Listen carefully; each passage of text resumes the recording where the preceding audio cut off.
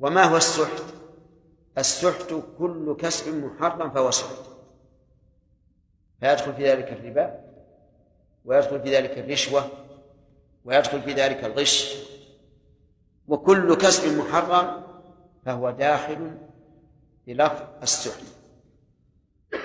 ووصف بهذا الوصف المنفر لوجهين.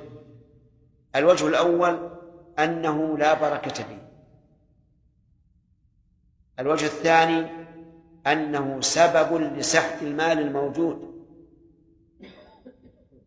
فهو شر في نفسه شر في غيره. ولذلك إذا دخل الحرام على الإنسان نزعت البركة من ماله واشتد طلبه للمال. يعني يبتلى بالشح. ومن فوائد هذه الآية الكريمة التحذير من الكسب المحرم.